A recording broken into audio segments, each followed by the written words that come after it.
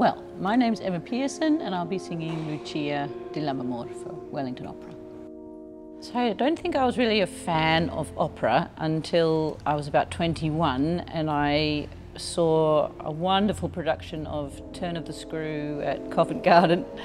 Um, and it was something about its intensity and its believable fantasy that pulled me in. And then I thought, that's what I want to do.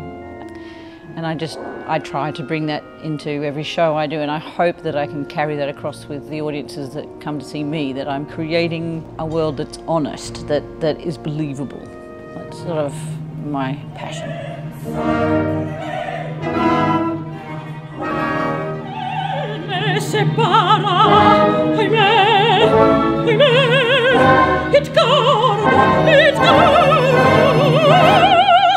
On the whole, the act of singing with an operatic technique feels to me like it's connected to joy.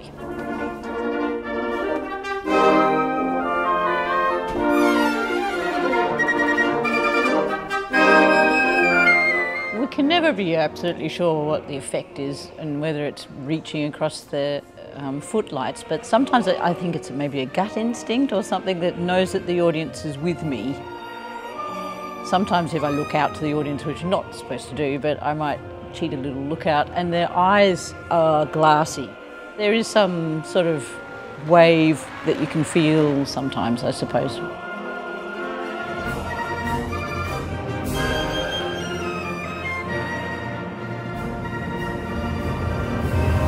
What is the magic of opera? Well,